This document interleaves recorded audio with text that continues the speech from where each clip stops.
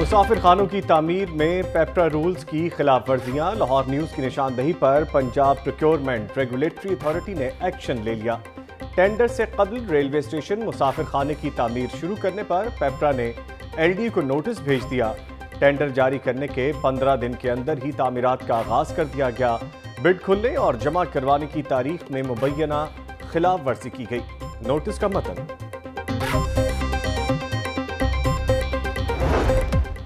نبی آخر الزمان رحمت اللہ عالمین حضرت محمد مصطفیٰ صلی اللہ علیہ وآلہ وسلم کی محبت میں ہر دل سرشار۔ بارہ ربیع الاول کو عید میلاد النبی صلی اللہ علیہ وآلہ وسلم کا جشن منانے کی تیاریاں روج پر۔ جھنڈیاں، برقی قمقمے اور دیگر سامان گنپت روڈ پر سجاوٹی اشیاء خریدنے والوں کا رش، عاشقان رسول کی بڑی تعداد امڈ آئی۔